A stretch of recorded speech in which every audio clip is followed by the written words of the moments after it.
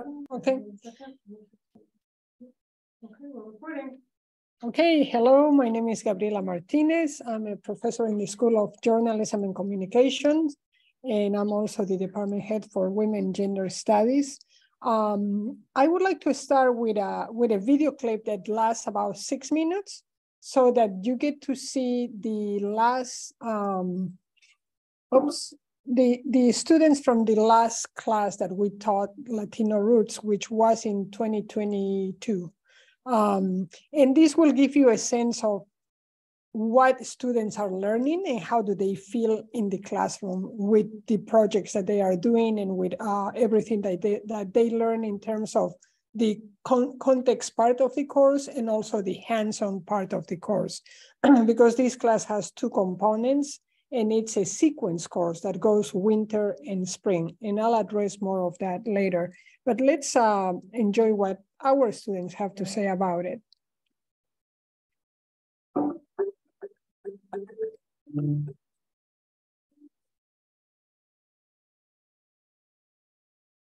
Mi nombre es Lidia Núñez Paniagua, soy estudiante de primer año de doctorado en el Departamento de Antropología. Uh, my name is Veronica Garcia, and I am in a master's program um, in the Department of Global Studies. My name is Jose Alfredo Marquez Londo, and I'm an anthropology major. My name is Karina Gonzalez, and I'm pursuing a double major in Family and Human Services in Spanish. My name is Ruby Velasquez, and my major is in humanities, and my minor is in ethnic studies. My name is Calito Campos Novaes.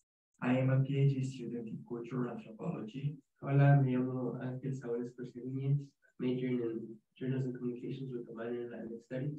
My name is Skylar Davis. I am a first year graduate student within the Department of Global Studies. My name is Edna Ventura, uh, and my major is public relations. So my name is Sandy Fernandez. Um, my major is psychology and Spanish with a minor in Latinx studies. My name is Jocelyn Telez. I am studying political science and English and minoring in legal studies and anthropology.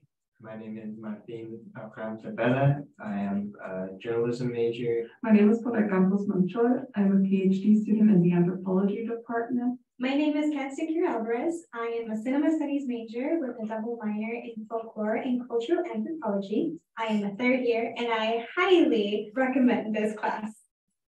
I think the Latino class is incredibly important, uh, not only for the University of Oregon, for the state of Oregon as a whole, um, giving people an opportunity to understand who was here first in the state and, and how those people contributed to the state of Oregon. Fue este curso Latino Roots porque me interesaba conocer la historia, los orígenes, la evolución de la población latina en los Estados Unidos. Um, one of the like favorite things that I've learned is, is how to interview someone and how to kind of learn someone's personal story, just being able to ask the right questions and, and really learn how to um, share someone's story with other people. I have learned that the story you think that you're going to do in your documentary can really change uh, into complete, something completely different. Uh, and I think that's really beautiful. Some things I've learned are, you know, learn how to be able to handle a camera and tell a story, you know, through it. I, you know, I always obviously grew up in the era of technology where cameras are everywhere, but being able to actually use that to say something or do something with it that could, you know, tell about my history or my experience. Well, I took this class to better understand not only Latino roots throughout the state of Oregon, but also try and understand my own roots and how they have an influence in here. Um, being able to be in a class with students who um, are inspiring, come from the same community, same background, it's been so, it's been life changing, honestly, being in a class setting where I feel like I belong. In this class, I've learned a lot of skills in filmmaking, editing, making an interview. And this class was also very important to me to understand um, the history of Black, Indigenous, and Latinx people the state of Oregon. And, you know, taking the Latino Roots course has been, you know, life changing. I've learned about Latino history in Oregon that I've never learned about in other educational systems, right? And, you know, being able to create a documentary, you know, have the platform to share these stories and share with the world. Mostly I learned about, a lot about myself just because we are working on the documentary. So me um, look at um, my story as well as my parents' story, since my documentary is based on my mother and my parents. Um, so it, it made me realize the, the correlation of their story and how that has seeped into mine. Before coming to this class, it just, I've never really had a like emotional like connection with my project or with anything I was really doing. And coming in didn't just make me a better student, but also made me, I think, like a better friend for my subjects. So I really do appreciate that um, Lynn and Gabriela were able to give me the opportunity to be able to tell his story and learn how to tell uh, other stories as well. I think I've learned a lot over the last like 20 weeks. Um, I've not only just learned about the Latinx history in the state of Oregon, but I've also learned how to capture people's stories and how to effectively do that. The most important thing that I've learned from Latino Roots is that Oregon and the Pacific Northwest at large is full of Latinx people and we make up a large portion of the population, and a lot of the times there's both conscious and unconscious erasures of our history, and being able to recognize what we've done is really important. So not only did I learn Adobe Premiere skills throughout the term, but I've also learned valuable storytelling and listening skills, and just overall how to capture the story of a person, how to respect their story. There's been multiple skills I've learned, but one of the main one has been communication with in a professional setting, meaning when I was working with Maria Cortez, who I am making my documentary on, um, it was how to communicate with her, how to listen to her, how to hear her on her personal journey, and how to document that, um, respecting her journey here America, um, and really connecting with her is a huge skill that I did not have prior to this class. And I feel very fortunate to be taking Latino Roots this quarter. Um, well, these past two quarters. Um, it's a long and ongoing process and project working with storytelling. Under this class, I've learned a lot about patience, um, teamwork. Being kind to yourself while learning the technology um, and taking a break when necessary.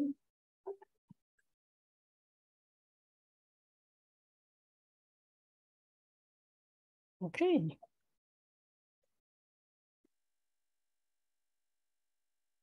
So as you can see, um, this is a this is a course that actually draws students from different disciplines.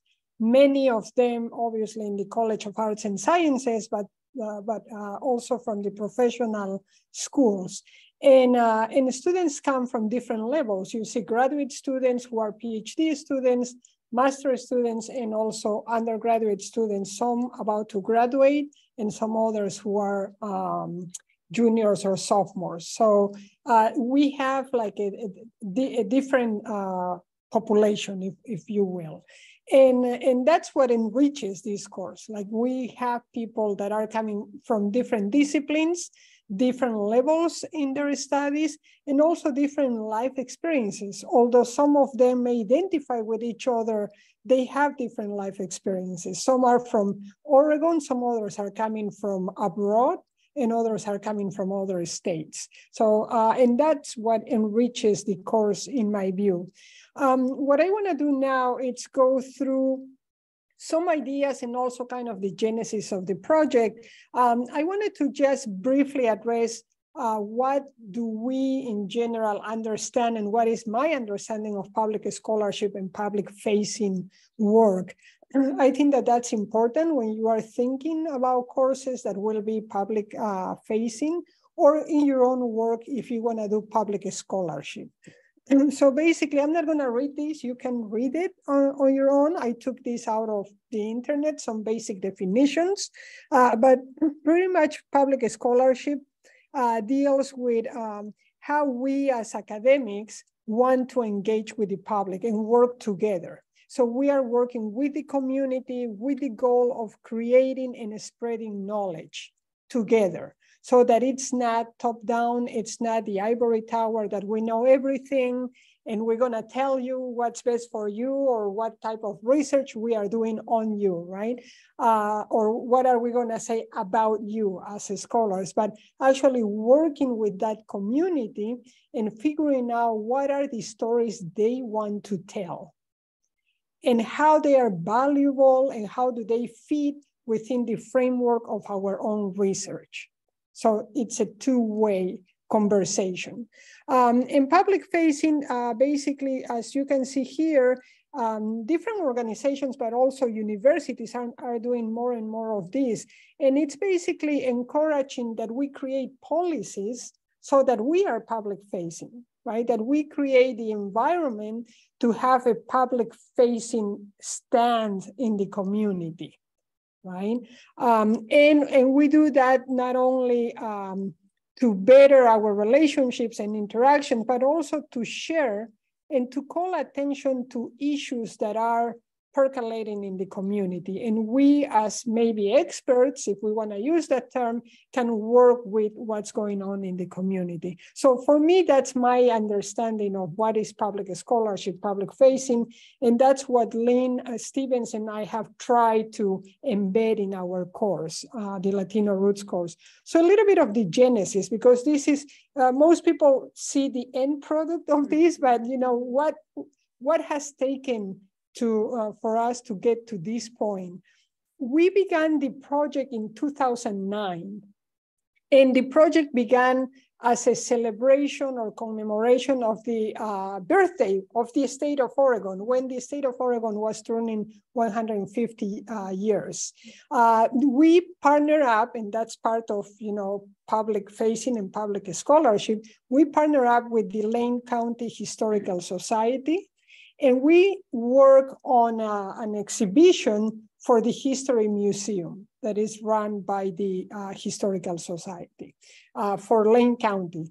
And it, it was very, very interesting uh, process because um, they thought, well, they came to us and we started the conversation and uh, Lynn and I decided to elicit the help of students so we got graduate students, uh, two graduate students and four undergraduate students, kind of later, later in the game, just to help us move, you know, help us collect artifacts and, and stories from people. But I worked directly with Sonia de la Cruz, who was my uh, doctoral uh, student, my advisee.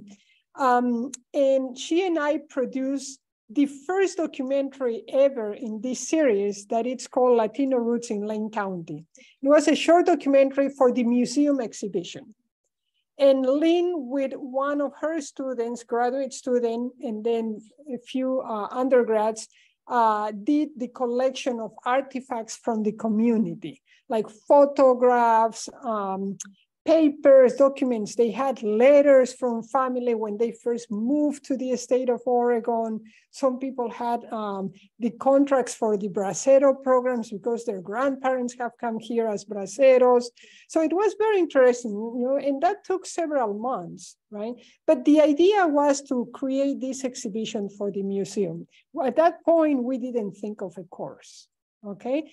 Um, so, and, and the other thing that it's interesting is that they gave us a small wall in the museum. I don't know how many of you have gone to the Museum uh, of History here, the Lane County Museum of History, but it's a small place. So they gave us kind of a corner in a wall, but the community just outpours so much material that we decided, okay, we need more than that corner. And they, we basically took over half of the museum. And we prepared 16 panels that now you can download copies of the panels from our website. And I wanna show you a little bit of that. Um, really quick, I will go here. This is our website for the Latino Roots. I hope everybody can see it. I think sometimes we need to stop sharing and then reshare. Gabriel, when you share, did you share your whole, um, your whole desktop?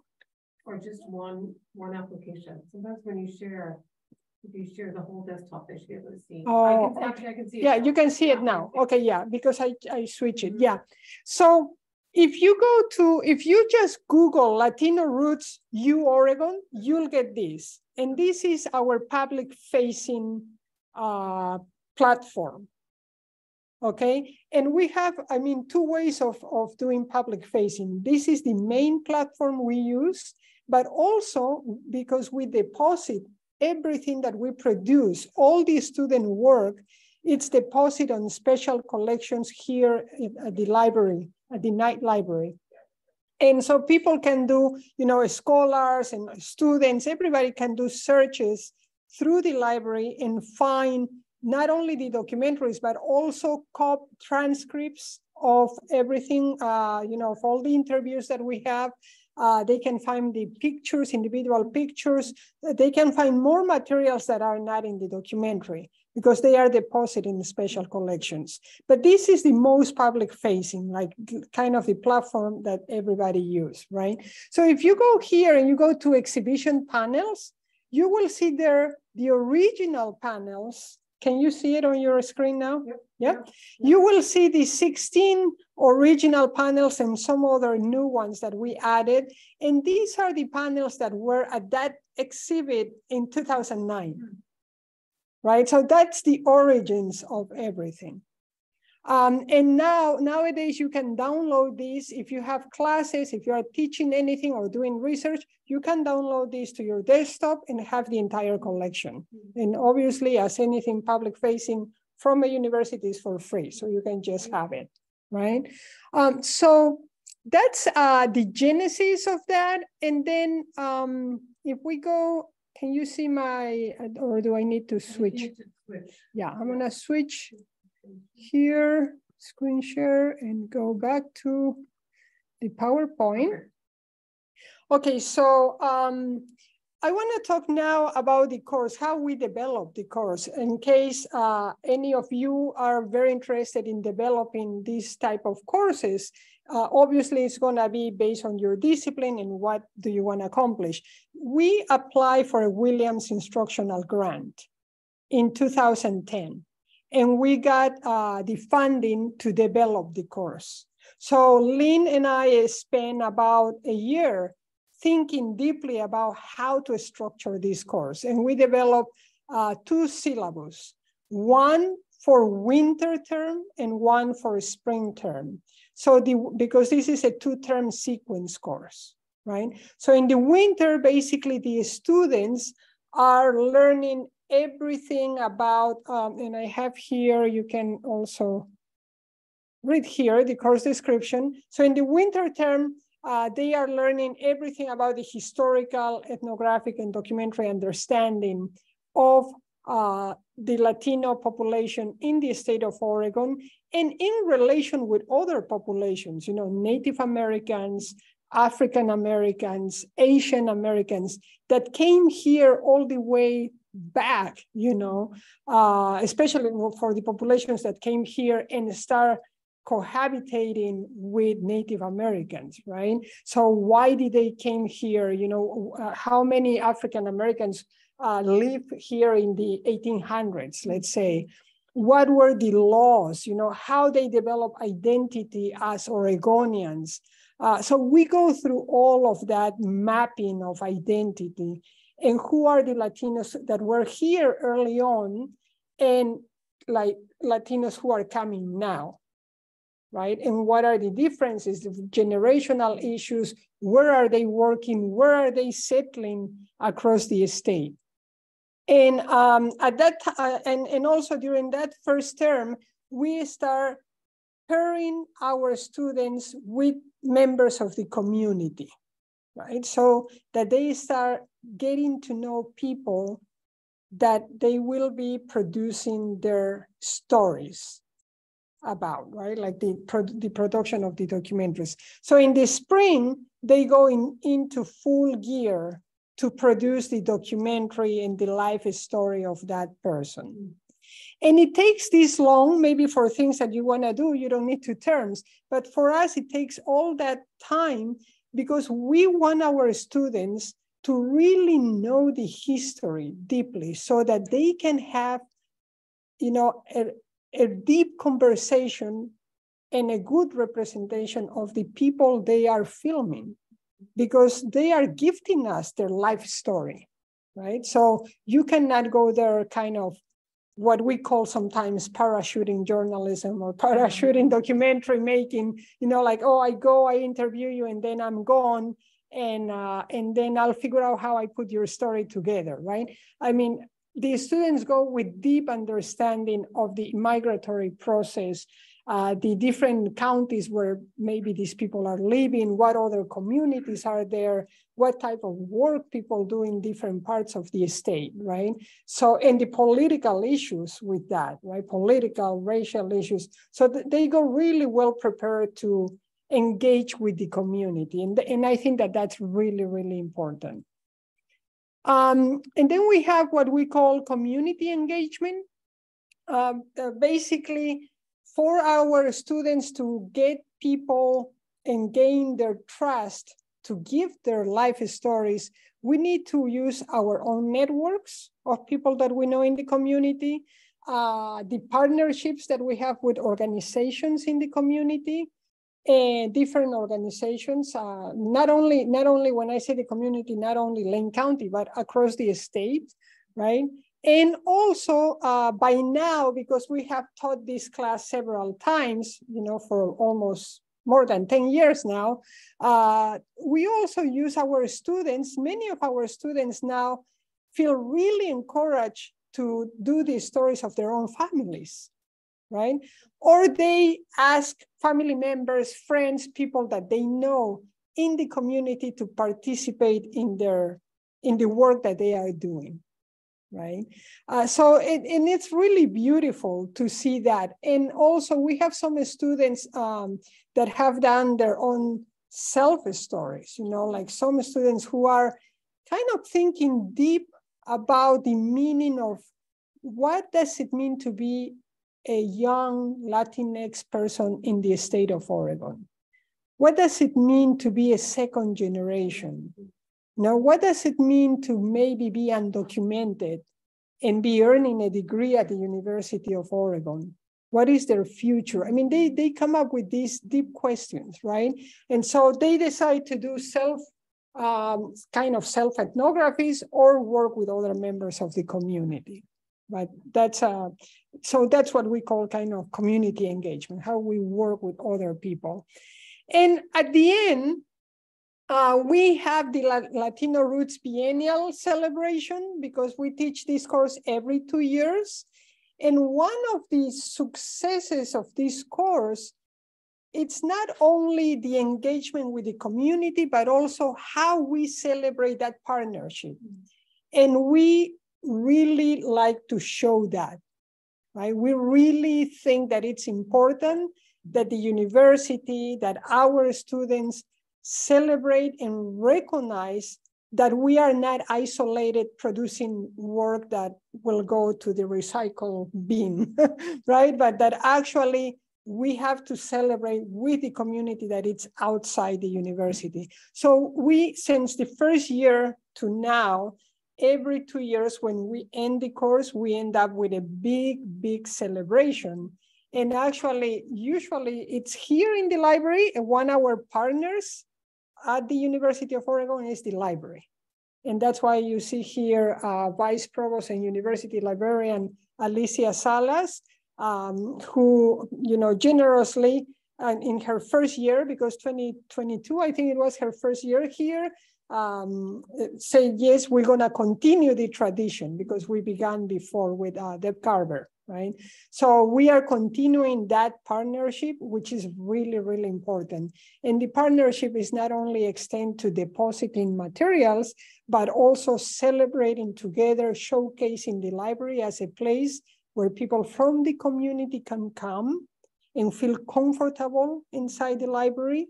You know, um, the all the presidents that we have had in the past 10 years or 11 years have been participants of this celebration. Mm. So we make the effort to book them in advance. So by we're going to be teaching this class next year. By the end of fall, we are already in the books with the president for the celebration in June, right? So that they they are part of this connection with the community. They have a stake in doing that. And, and also the provost and other administrators, right? I think that that's really, really crucial for the success and also for the students to see that their work is recognized at all levels, right? Um, so the other, uh, the other thing is that both the celebration and also the, uh, the course itself is student center, right? So Lynn and I speak for, we, we, we are very tight with our schedule when, when we are doing the celebration and Lynn and I speak like only two minutes. Everything else is run by the students, which is really, really awesome. Mm-hmm. Because by then, as you can see, hopefully you got the sense from the video, they are completely empowered, right? And they feel totally comfortable, mm-hmm. You know, because the entire experience of being a cohort for 20 weeks, it makes a difference. Mm-hmm. And also to be under a lot of, you know, the pressure of producing a, a documentary and, and the pressure of, well, you're telling the story of somebody, right? Uh, that it's going to be public. This is not just for me to give you a B or an A, you know, uh, or a D, I don't know, right? Um, this is something that is going to live publicly, and it's a publication for you as a student. So that that in a way that that pressure sometimes could be stressful for them. But we have exercises you know like deep you know deep you have to breathe deeply. You have to take a minute. You spend a lot of time in the lab in the in the cinema lab which is also here in the library. Uh, that's another partnership that, that we have with the library and with cinema studies um, that we can use their lab you know, they, they are in the lab many times until midnight, right, working. So they need to learn how to take breaks, how to be kind to themselves as they are saying, you know. So, and, and that's really a student center, you know, like constantly checking in with them. As, as faculty, we have to be checking in with them um, all the time. So um, I'm gonna leave it there. That, that's my last slide. That was my last slide. And I would like to maybe show, um, I'll share with you, I'm gonna stop sharing this and then go to, to the website again. And let's see. Um, I would like to walk you through the website so if you want to visit the website and see how you could create a course that emulates some things, um, and and I know that there are other other faculty on campus that have done uh, a lot of public facing as well, like um, Julie Weise, for example, in history. I think she has a project that it's also kind of public facing uh, and it has a good website. You can visit that as well. But I want to walk you through this uh, Latino Roots website. Uh, you have the home here with the kind of the genesis that I gave you. Then you have the course description. And within that, um, you learn, you know, what is the course, what does it take, how many, um, you know, how many terms, the different partnerships that we have, within campus and outside campus. And then also you can go and read uh, student testimonials that probably they are not gonna appear here because I would have to be switching back and forth. But you have the student testimonials there where you can uh, learn how students feel about their course, what have they learned. Then you have the video documentary gallery. And this is where we house all the documentaries that we have produced since day one, right? So we have, uh, as of today, we have 98 documentaries. Uh, so next year, when we teach the class, we'll be going over our 100. So it's a milestone. It's going to be a, a milestone class. And pretty much like Netflix, you can go and choose, you know, whatever you want to watch, and you have a synopsis there, and then you can uh, choose what you know what what you want to watch. And I want to call attention to 2020 because obviously due to COVID, that was a very special year. Um, classes, if you remember, classes went online for spring 2020. So the production of the films had to be done completely remotely. And even our teaching was done remote. I was stuck in Peru and I taught remotely from oh. Peru. and Lynn was here, and Lynn and I will, you know, teach remotely, each of us from our houses. It, it was a very interesting uh, experience. And it's amazing because we thought maybe the students are going to just say collapse or quit oh no, I mean, they were even more eager to do this and we got all the production. So for some of them that was more difficult to do the entire documentary um, through remote practices, uh, they produce, um, and you can see these four here, they produce more like multimedia type of things. And even one of them did a podcast. Actually, two of them did podcasts with some multimedia uh, stuff on their on their website that they created. So that's another modality, right? And actually, it led us to think as there are newer platforms that we could use that maybe we're gonna start allowing students, if they don't wanna do the documentary, maybe they will do podcasts with the interviews and, and tell it more like a podcast story right? Or do more multimedia things, which is really a, a nice way of, of working, right? So hopefully people will uh, go and check this out and see, you know, and also watch some of the videos that are really, really interesting and, and very emotional, some of them. And then we have the, the exhibition panels that I already uh, shown to everybody, um, and you can download those. And the other thing is here, if you see our collaborators, these are our partners, right? So institutional partners here and outside. And as you can tell also, SELCO, it's the Community Credit Union, they are our sponsors. Oh for the Latino roots. And uh, so we have this partnership with them and they, every three years they donate some funds so that we can make this accessible across the state. So we, the panels that you can download here, we have the physical panels as well. And we have three, um, three sets of those panels. The original ones that are historical, we don't take those out anymore, but we have, um, we have uh, replicate those in in a flexi type of version that you can fold the things and then you can just display it really quick. And it's lightweight so we can ship it anywhere in the state. And um, we have had that exhibition across the state in different historical societies uh, different museums middle schools high schools um, Cinco de Mayo festivities. So basically, I mean, they go all over uh, the state and, and Selco kind of finance that, you know, they, that we can make that accessible for free, right? And the other thing is that our institutional partner, partner here, CLAS, the Center for Latino and Latin American Studies, um, they are the ones who administer all these panels and the any exhibition that it's outside the university, right? So they help us to do that.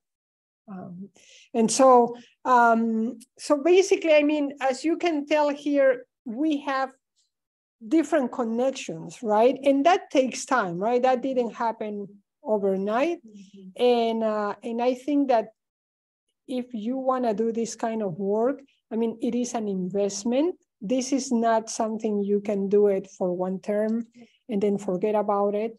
Um, if you want to do it well, I mean, it will take some, you know, some research of what exactly you want to do. Maybe if you want to teach it with other uh, person, I was going to talk about that. I mean, the rewards and challenges.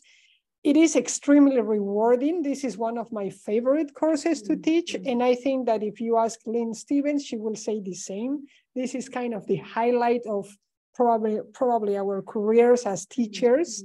Uh, you know, I really love teaching this class because I see the transformation in in our students, right? Uh, I, I I see it in other courses too, but this is like so, like deep. I don't know. It's something that touches the soul, right?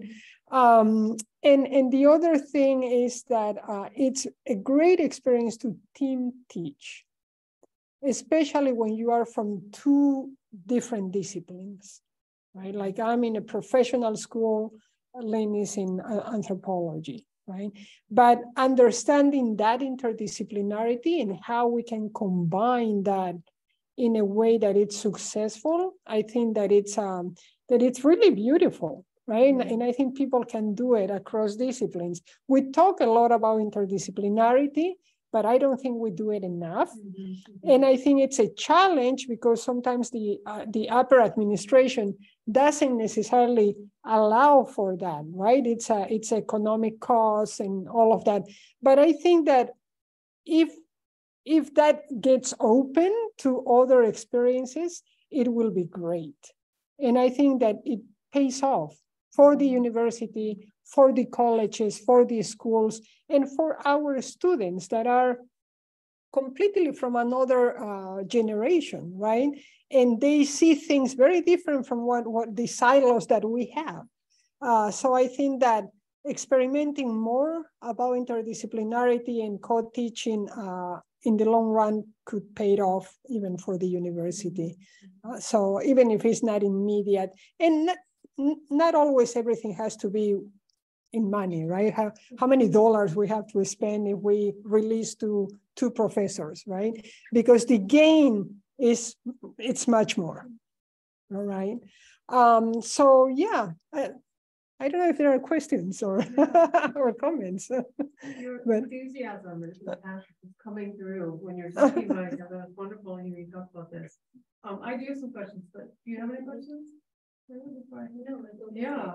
So I was wondering about um, what does this course count towards specific majors and minors? How yes. How should I set it up? Yeah, yeah, well, this is a cross-listed course. Okay. Okay. And it's upper division. It's a it's a four I think it's 426 and 427. Okay. Um, I, I have to check That's on that. Okay. Yeah, but, but it's a 400 level. Is it 400 slash 500? Yes. Yeah. Okay. Yeah. Four slash 500, and it has the the M, which is multicultural. So it counts for multicultural, which now I think it has changed names, right? It's global. some global, yeah. global something. Yeah. So um, so it counts for that. And then students can request to count it for their own majors. Okay. For example, if you are from IRIS, I think that they counted towards something inside IRIS. Okay. Um, and uh, in my school, we do the same. We count towards uh, uh, towards a particular type of electives, right?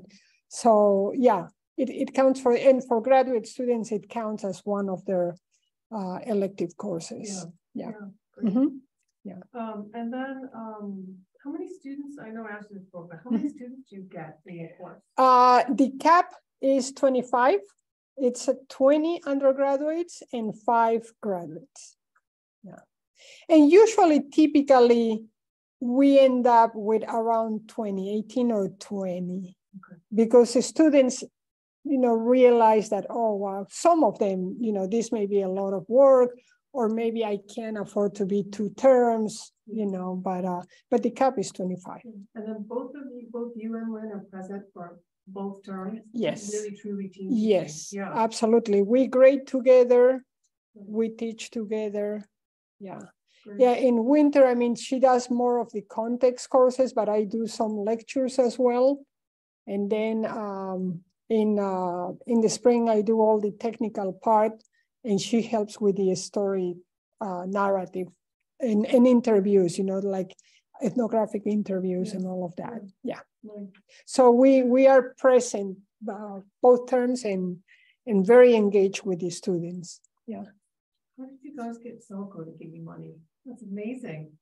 Salco? Yeah. uh, well, many years ago, uh, there was um, one of the development uh, officers who was from CAS, I believe, um, Kate Walsh, Kate Walsh.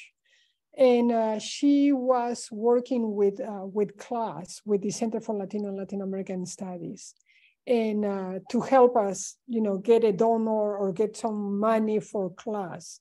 Um, so he, uh, she called us and, and said, you know, I think Selco is interested with something with the Latino community, but they don't know what exactly. So we had dinner with them and we explained to them the different things that CLAS does and that we were beginning this course and and this was our idea, you know, and then we wanted this to be for the public and not just for the university and that we wanted to send out the the exhibition that we already had the panels, right? We would like to circulate it and distribute it and replicate it so it can go to different places at the same time. And they went like, whoa, okay, yeah. So, uh, so they began giving us very little money kind of to test run the thing. And as they saw how we were growing and being steady, uh, they increased the funding. And then um, we invite them to every celebration. They always come. They always come. They always come. The three of them, always three of them come and are present uh, in the celebration. Yeah. That's wonderful. Yeah.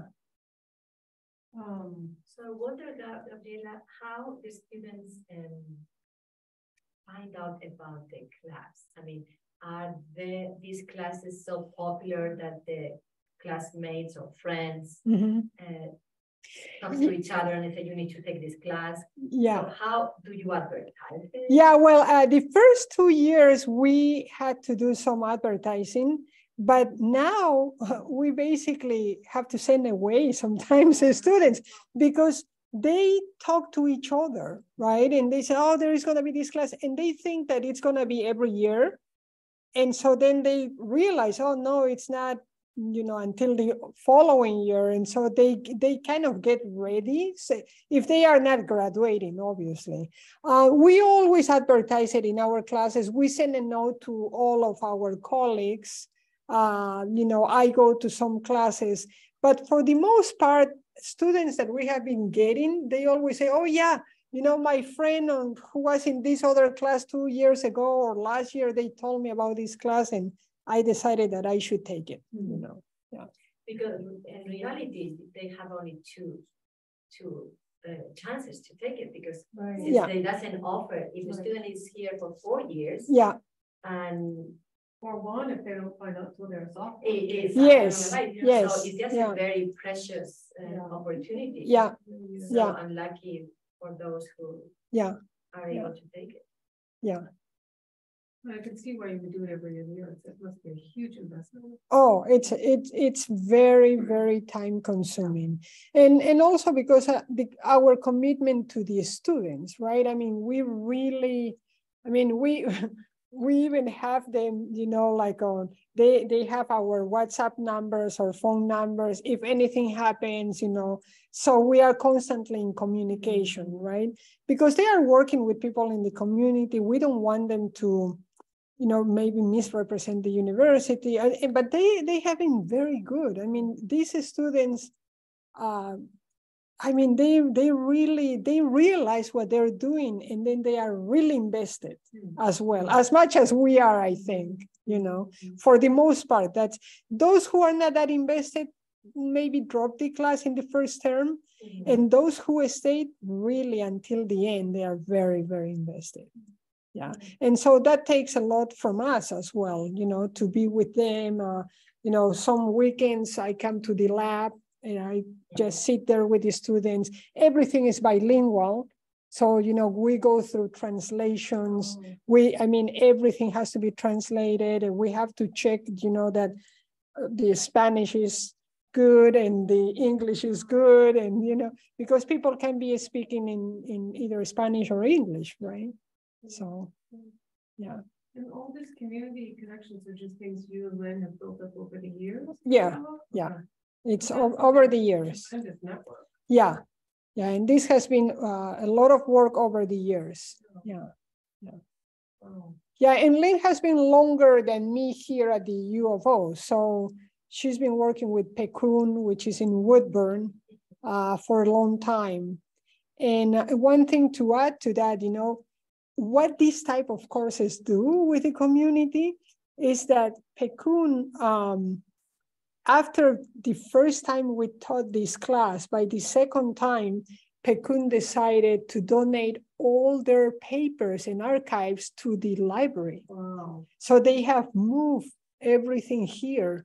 So and PCUN is the most important uh, uh, union for farm workers in the mm. state. Mm. And all of their papers are here. And it's the result of, you know, obviously, you know, years of that they know Lynn, but at the same time seeing what we are doing with the students and the significance of having the papers here, like it's part of the assignments. In the first term, they have to come to the library and study the papers of PCUN and, and unpack one of the papers and create a story with that as a training mm. for the story that they're gonna tell, right? Mm -hmm. Yeah. So the, the, the, people who are featured in the, in, the, in the, their videos, they come to the celebration too as well. Yes, everybody comes. Uh, that, that's, a, that's a good question, Sayo. Uh, when we have the celebration, all the students come, all the families of the students are invited, and then every single person who appears in there that we are telling their stories about, they come, and many of them come with their families. Oh, so it's like a big thing, you know. Wow. Usually, I mean, we used to do that in the browsing room, yeah. but we were against the, the fire, fire, fire code or the marshal came a couple of times like, oh, no, no, you cannot, you know, it, it's, uh, you are getting, uh, you know, there's too many people here. So basically, uh, the last time we had to do it in the ballroom, in the EMU in the oh, ballroom, wow. and it was packed. Wow, yeah. wow. I would say easily 300 people. Wow. It was packed. And do you show the documentaries at the celebration? Yes, yes. Nice. Yeah. So what we did uh, that time there, we rented the three rooms across the ballroom, and each room had like uh, five documentaries in each one. Yeah. So, oh, yeah. and people can walk. So we have one hour, you know, with all the speeches from the students and, uh, and the president and the provost and all of that. And then uh, the other hour is screening all the works. Yeah. yeah. And another thing that is really nice that I think it's part of of this engagement in public scholarship is that the students do uh, a symbolic ceremony of depositing their work with the library and they give it to the vice provost of the library, you know, their work. Um, and then they have to give a copy to the person oh, no, that yeah. they found. Oh. Yeah and that's very emotional for many of them i mean you can you can tell the emotions there you know mm-hmm. and and for people seeing their story and that others are seeing their story it's yeah. it re- it's really moving yeah yeah amazing is it an issue to get all the permissions to... that's a very good question uh, part of the process is that you have to have irb, IRB and we do have an irb for the latino roots that we um, that we renew every other year. Every time we teach the classes, we renew it. Okay. And it covers the entire to everybody who's doing research with us. Okay. Yeah. Mm -hmm. So the students, the people are interviewing everybody. Everybody. Okay. And then we have the, it's it's multi, that's why it's only every other year. Yeah. Because you have IRB, then you have um, the release form for, from the person that you are filming right? Mm -hmm. They have to sign a, a, paper that they are fine with the filming and telling their story. Then they have to sign another form gifting their story to the library and for public consumption. Okay. okay? And then you have to have a form from the students because of FERPA, where they are gifting their work to the library and to public consumption. Yeah. So it's it's yeah. yeah. so keeping track of those, Lynn keeps track, tracks of the forms. That's her task. well, me too, but uh, but she's more like, yeah, yeah. But it, it's it's a lot because there are like, so we are talking about four different forms, Yeah. right? Wow. Yeah. Wow. Can I ask who maintains your website? Uh, I do it with um with a GE generally. So every time we teach the course, when we are updating and uploading everything new, uh, I have a GE for that from my school who helps with all of that. Yeah, and we have revamped this. This what used to look different, like because it's 10, 11 years old. Mm-hmm. So things have changed, right? So we had Selco with Selco money. We actually hire, uh, you know, some website engineers mm-hmm. to revamp it and make it more modern, more contemporary. Like you have the galleries instead of mm-hmm. just one long list, and you have like class by class, right? So, um, yeah. So they have revamped all of that and updated everything. Um, and then we change all of these used to look different. So, and then we have to standardize with the University of Oregon.